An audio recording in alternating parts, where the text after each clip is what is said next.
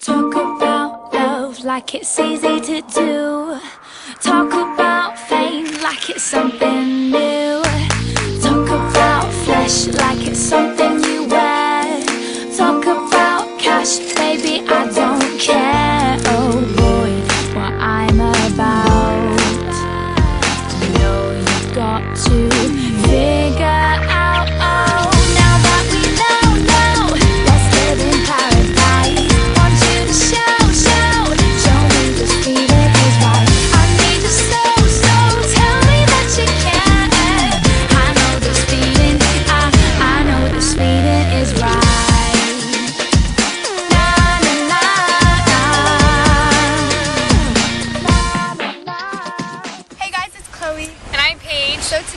doing what's in our beach bags and we're doing two cute beachy outfits. This is mine. This is mine. So mine is from Aeropostale, I think. And where's yours from? Um, mine is actually from my friend Tasman when she went to California. She brought it back for me. First we have our towels. And yeah, we're just sitting on them because we already put them out. But that's fun. And we both have magazines in ours. I have a 17 one.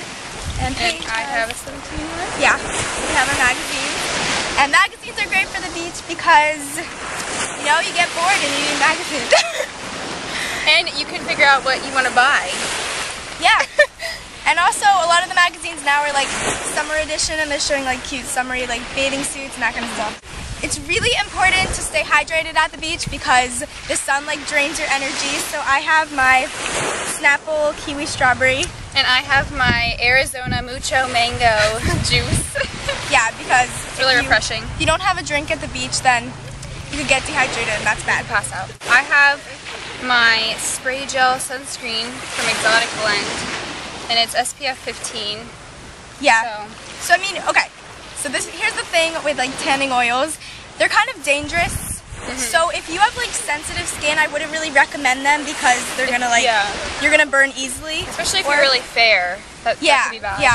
So like when I use tanning oil, I make sure I don't stay in the sun for that long because if you use it in the sun for longer than like two hours, I feel like you could get burned. If you don't look red, you could still be sunburned because it doesn't show till like later. Yeah. And that has happened And to both of us. Yes. well, I also have the Sublime Sun by L'Oreal, and this is SPF 30, and it's more oily. So if you don't like to feel oily, whatever, then don't use it. Have the Garnier Skin Renew Daily Moisture Lotion, and it says SPF 28, so this is really good. And I use this on my face because your face is more like sensitive and you don't want to get that burn and like your nose and everything, so I use this on my face. And then I also have the Neutrogena um, sunscreen, which is SPF 30. So these are just in case it's like getting really sunny and we feel like we actually need like real sunblock. So I have Yeah. these. This is a little uh, face block too. it's a V-Now Natural Protection, and it's SPF 30. So if you don't have SPF built in your foundation, if you wear any to the beach, then probably put that. I have money. I have money too. I actually have it in my little Vera Bradley. Oh yeah, that is a good tip to keep in your beach bag. If you're going out to lunch too or something and you need your money or your Yeah. gift cards or something, then you can just have it in here. And, like, you could- your license Yeah. or if you you know if you don't drive that's fine too. But Because it could get like wet and sandy, so you have it in there. I have headphones, and we share these.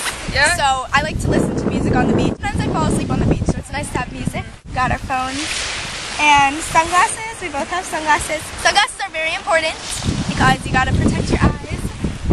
I got mine at PacSun. Oh, this feels a lot better. I was like squinting the whole time. I have this little pouch because I have like a lot of cameras right now since I'm filming. So I have like my waterproof camera, which is the Sony TX10. So I keep that in here.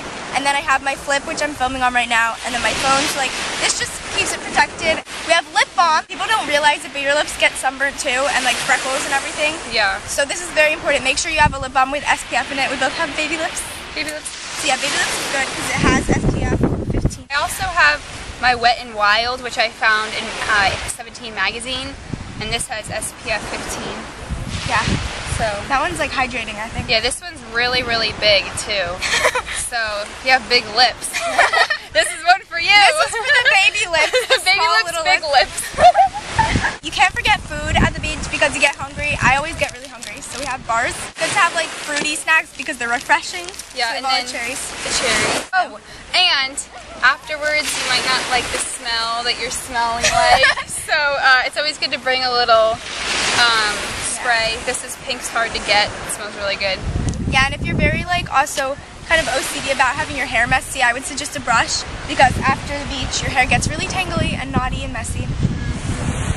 But yeah, that is what we have in our beach bags, and they're kind of crazy full, but we have like a giant pile of stuff here now. And now we're going to show you our outfits. Yay! Talk about love like it's easy to do. Talk about fame like it's something new. Talk about flesh like it's something